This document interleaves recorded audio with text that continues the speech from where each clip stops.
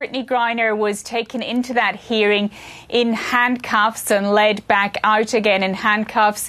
She declined to answer questions from some waiting media there, but her lawyers later told media that what had happened was that a date had been sent for her trial.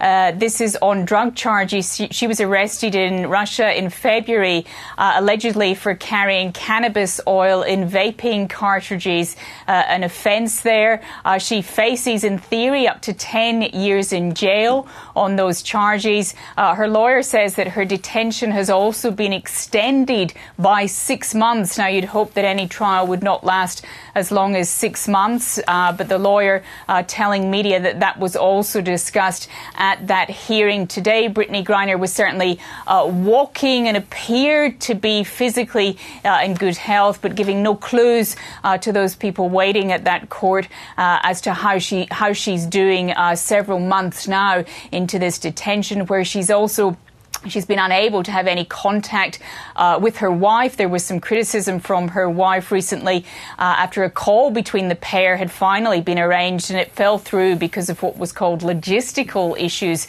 at the US Embassy in Moscow. Uh, so clearly uh, a difficult and isolating time for the uh, basketball star there, but some movement in this case now uh, after her arrest in February. There has been speculation that perhaps she could be swapped for a man named Viktor Bout.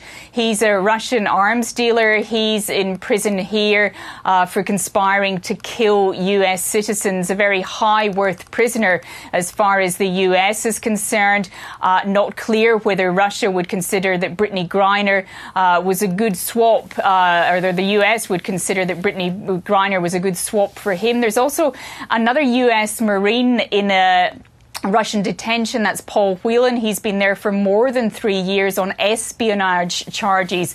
Now, his family was very hopeful after the prisoner swap arranged earlier this year with another former Marine, Trevor Reed, that perhaps there could be some movement in his case.